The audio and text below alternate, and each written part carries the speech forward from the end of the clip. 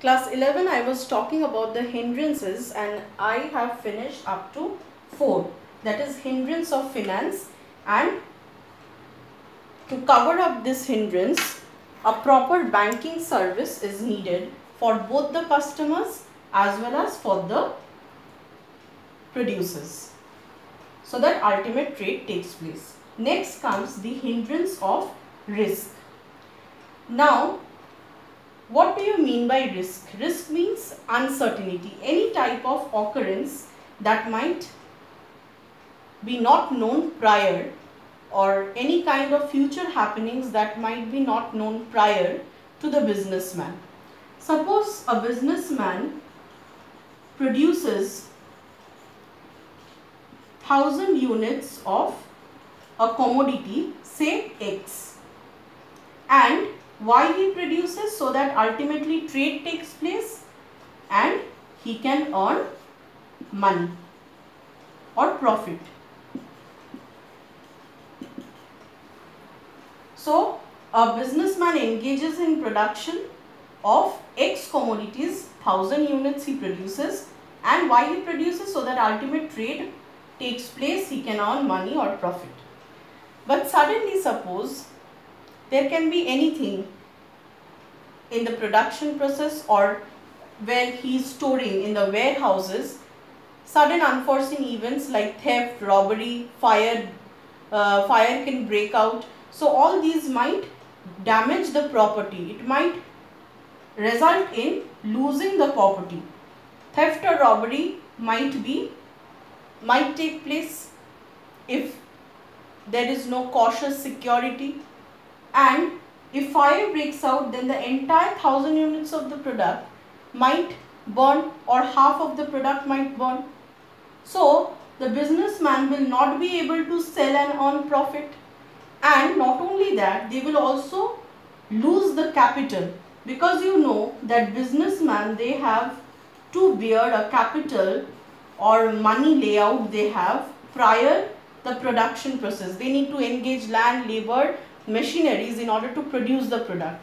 So their entire money with which they have produced this 1000 units of commodity will be a wastage because they cannot get profit or cannot recover the capital that they have put in for production.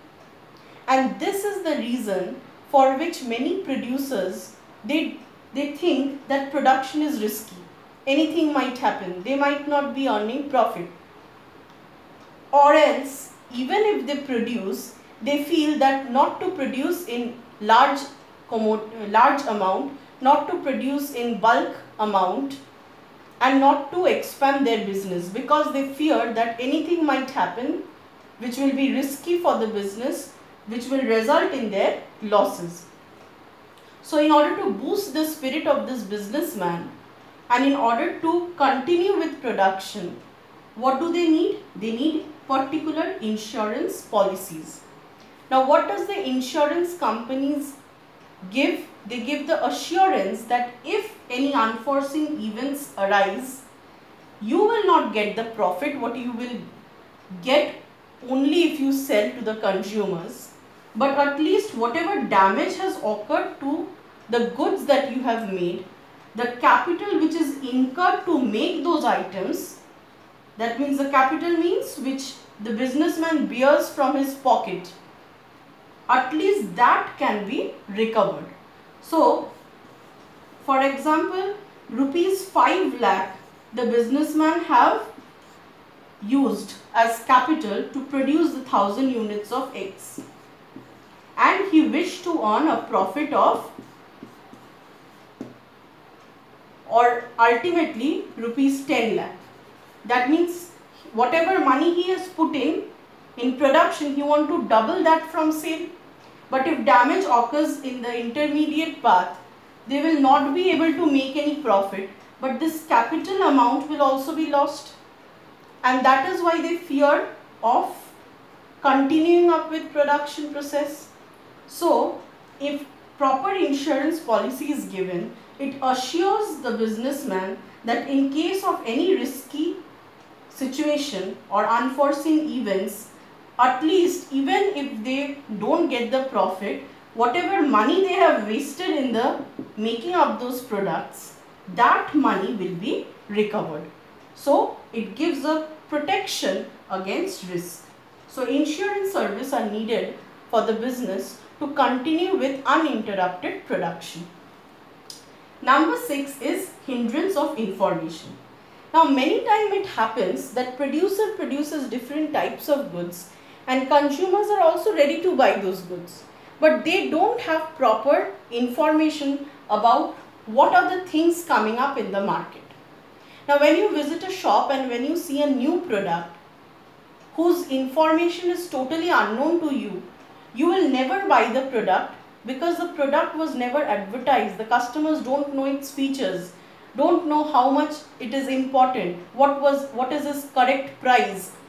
So due to lack of this information, the producer's product might remain unsold. The consumers are not willing to buy. So for trade, what is needed? Advertising service is also needed. Nowadays, whatever comes up in the market, whatever the product producer produces, we can see those ads through TV, through radio, forecasting happens and broadcasting takes place through radio, then advertisements are released through internet. So we get whole lot of information about the newly made products and we can through those advertisement relying on those advertisement we go to the shops to buy the product. So producers product if they are advertised well they will be bought by consumers and final act of trade will be smooth. But if there is lack of information to the customers, the producers will not be able to smoothly trade out those goods due to lack of information. So these are the set of hindrances which appear while trading. So a business, if it only concentrates on production and it, if it feels that okay after production I can trade out all the commodities then it's wrong. Then what is needed? Commercial services are needed to smooth the process of trading so that whatever production happens through commercial services it eases down the production, the trading process and final trade can take place. So these are the hindrances, problems while trading and these are the services to overcome those problems. And that is why it is called aids to trade. Organized market, transportation, warehousing, banking, insurance and advertising. These are the services provided by certain business houses. They help the process of trade to those business houses who are involved in production. And these are the set of problems, these are the set of solutions for every respective problems.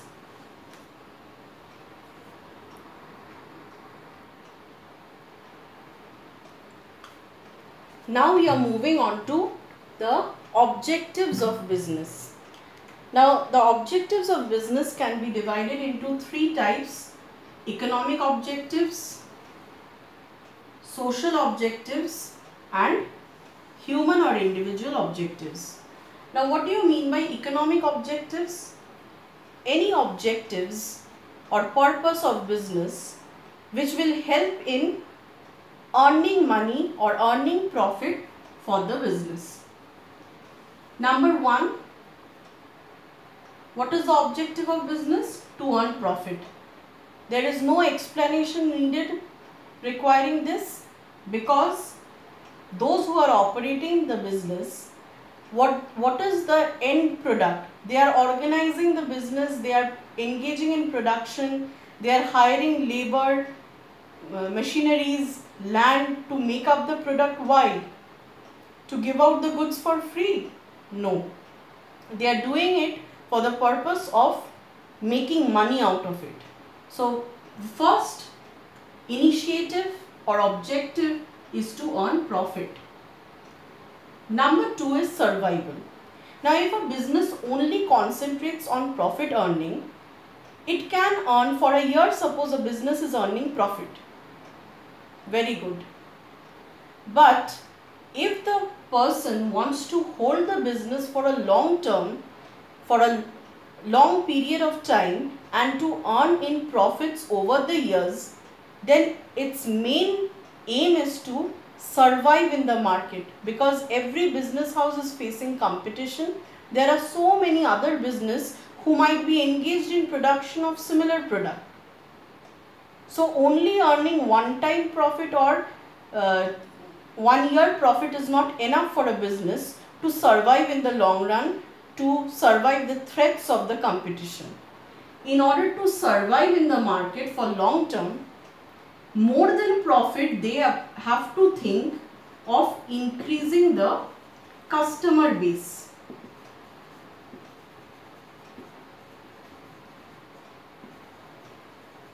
Or increasing the market for their product.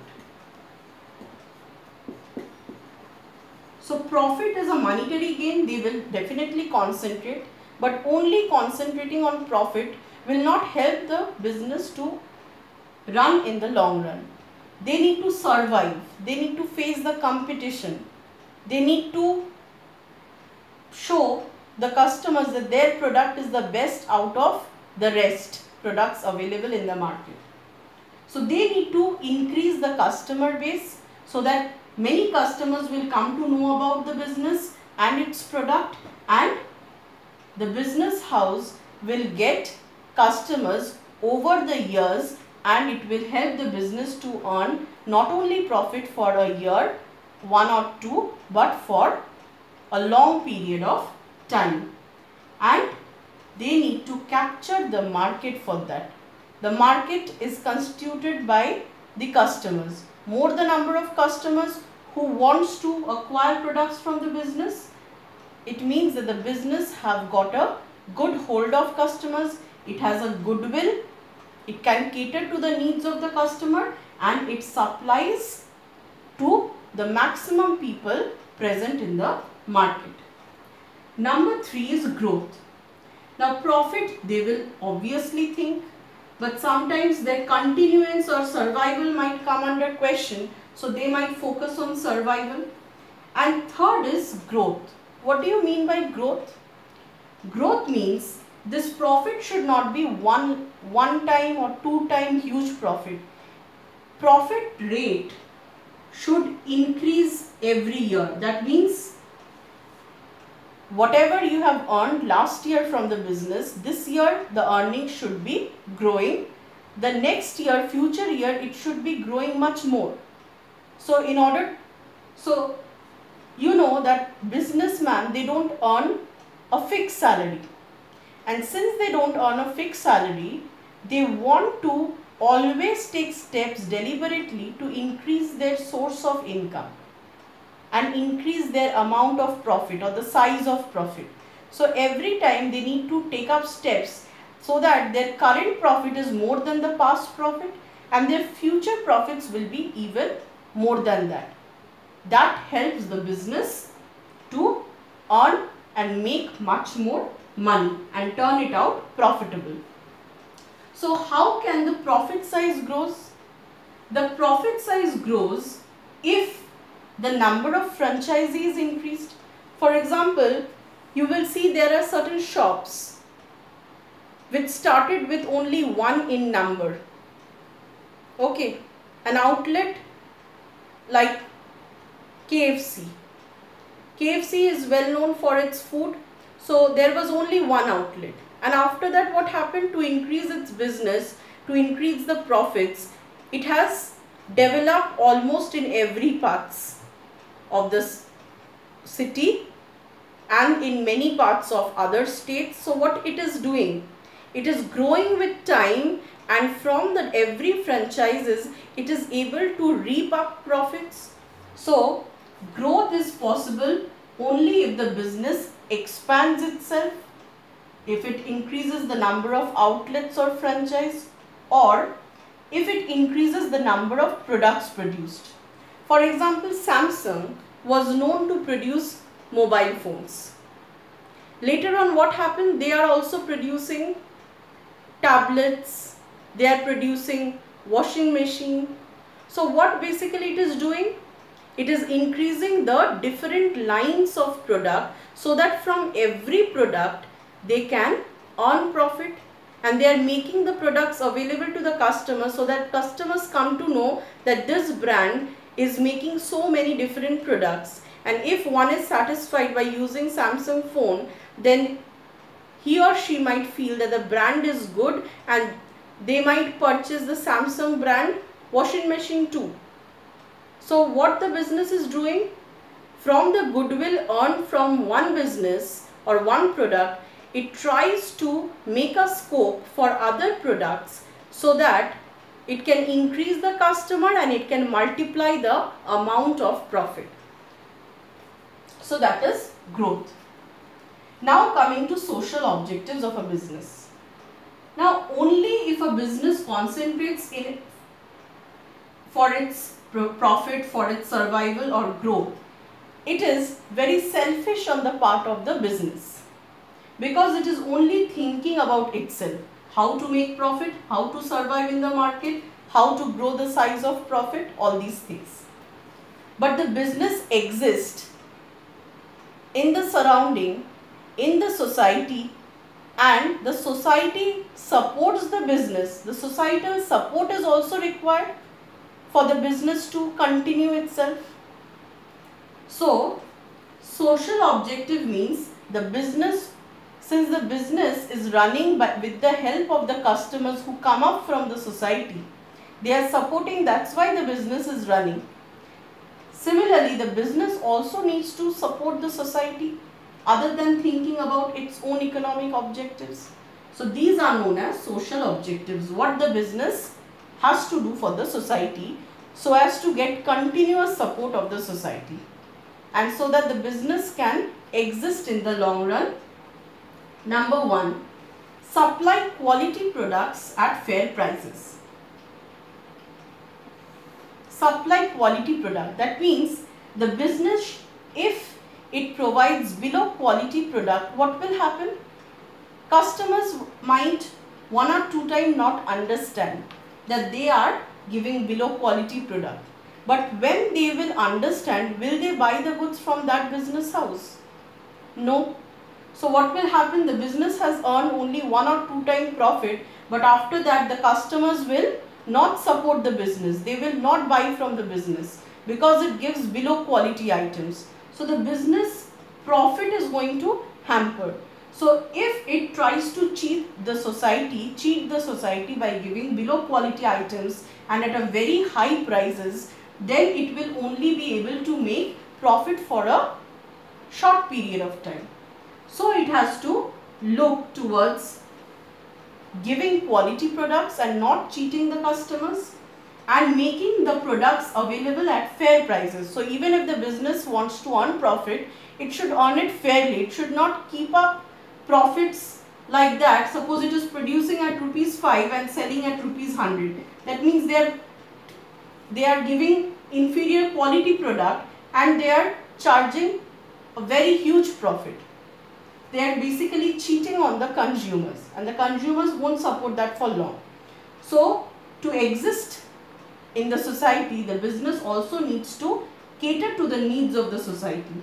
So it has to give quality product and at fair prices. Then only the customers will be in support of the business. They will continuously buy and the business will also make a continuous profit and earn goodwill. Number two, avoid unfair trade practices. Now few unfair trade practices I am talking about now. One is black marketing, then adulteration and hoarding. So these are the unfair trade practices. A business sometimes practices all these things. What do you mean by black marketing? Black marketing means selling a very less quantity at fair prices to the consumers whereas reserving the rest of the products in order to sell at a higher price to the consumers who are willing to pay a higher price. So what they are doing, they are cheating the normal consumers. The consumers are ready to pay the proper price. But the businessman in greed of earning more profit, they will sell a part, they will reserve a part only to make it avail available to those consumers who are willing to pay a higher price. That is known as black marketing. Number two, adulteration. Adulteration is mixing up things together and selling it to the people. And adulteration means with some superior quality you are also adding on some below average quality product and giving it a look of a refined form but inside it is totally a below quality product. So that is known as adulteration. So basically unfair because you are cheating on the consumers. Third is hoarding. Hoarding means creating an artificial shortage. Suppose the businessman have produced and this also happened few days back, few months back in our uh, in our city also that onions were not available in the shops. Why onion was not available in the shop? Was they not produced? No. Hoarding was going on. Hoarding means creating artificial shortage of the product. It is produced but the producer is not willing to sell. They are telling that it is unavailable. Why they are doing that? Because onions are required for cooking for daily purposes. So one or two days or one week you can do without onions.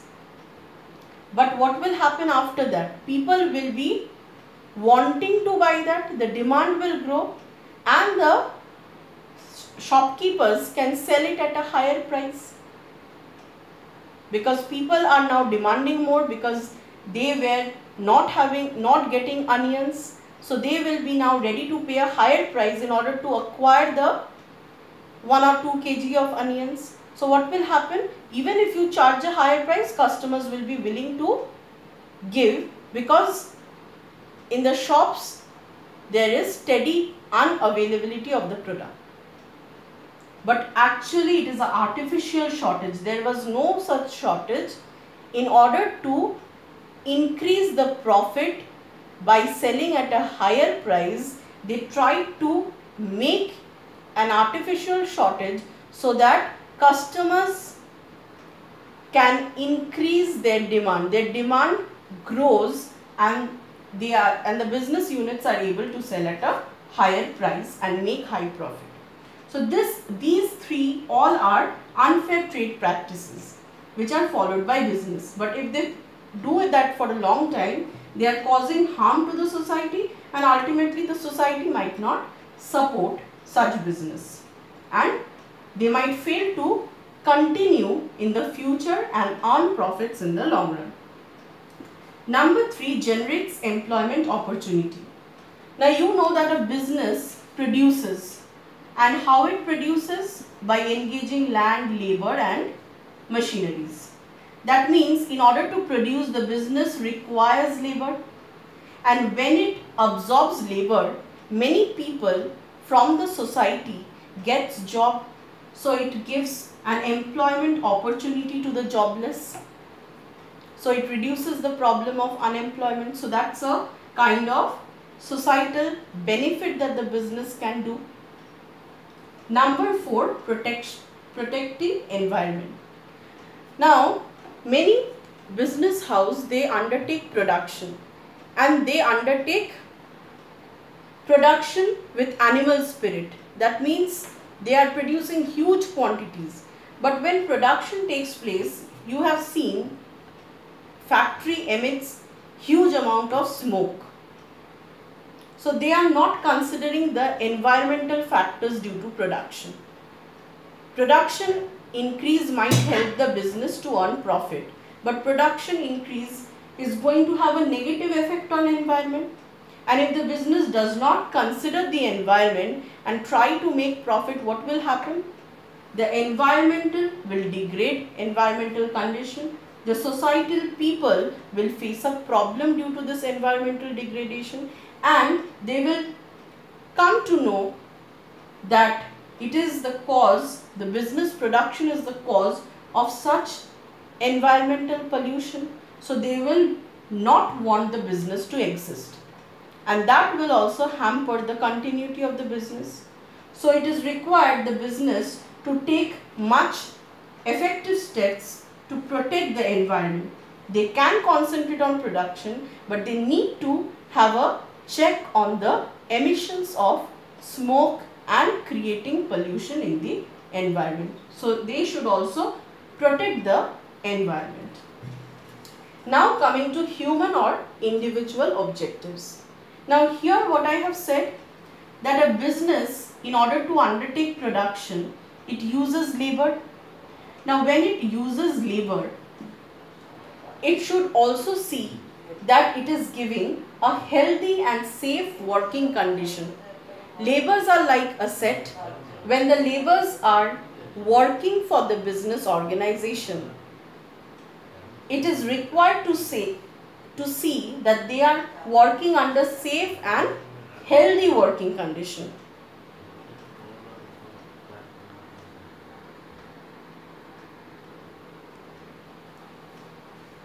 So, the business uses labor and they should keep a check that the laborers are getting a healthy and safe working condition or not because the laborers are kind of asset who are being utilized by the business to undertake the production and from that production the business earns profit. So final is the profit and initially by employment of labor only the production takes place which helps the business to earn profit. So labor since it is the main source of business for earning profit afterwards, it should take healthy, it should provide healthy and safe working conditions. Number two, it should also provide fair salaries. Now many business houses what they do, they want to earn more profit. So they try to exploit the laborers, they make them work for long hours more than their energy levels they have to work they are exploited. And the businessman earns profit but he gives a very low wage to the labor. So it should also be seen that labor's interests are not sacrificed they also get fair salaries. Number 3 security of service. Now every labor who are working in the business if they know that they can be hired anytime or fired anytime there is no guarantee of employment there is no guarantee of money income, then they will also not be willing to work for that business. So a business should take enough steps so that it can, when it is giving employment, it is sure that at least holding the labor for a certain span of time so that there is security of service of the labor. Number 4 financial and non-financial assistance. Now assistance means benefits.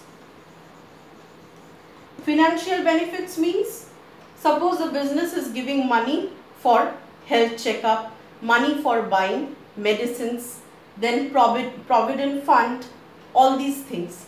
That means it is giving some financial help or benefit to a labor who is working for the business. And non-financial benefits means, suppose it is not giving directly money, but it is organizing something which is benefit to the labor, benefiting the labor, like free health checkups.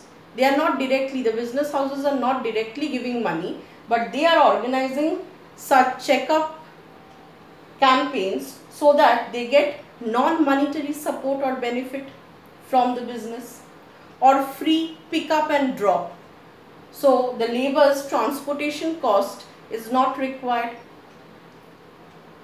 Now fifth, opportunity of growth and development of skills. Now every labor or every person who is working for the business, they want promotion after a certain time period.